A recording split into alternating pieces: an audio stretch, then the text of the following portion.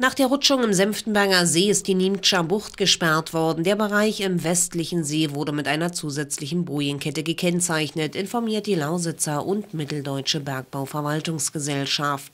Hinweisschilder gibt es zudem im Strandbereich. Weitere Sperrungen wurden nicht angeordnet, so die LMBV. Die Wasserschutzpolizei sowie Sachverständige werden in den nächsten Tagen verstärkt Kontrollen durchführen. Die Untersuchungen zu den Ursachen laufen noch, um das Ausmaß Ausmaß einordnen zu können, müssten nun Luftaufnahmen und Lotungen durchgeführt werden, erklärt Sprecherin Stefanie Klein. Am Donnerstag war es zu einer Rutschung auf der ungesicherten und daher gesperrten Insel im Senftenberger See gekommen. Verletzt wurde niemand. In diesem Zusammenhang weist die LMBV noch einmal darauf hin, dass ausgewiesene Sperrbereiche nicht betreten werden dürfen.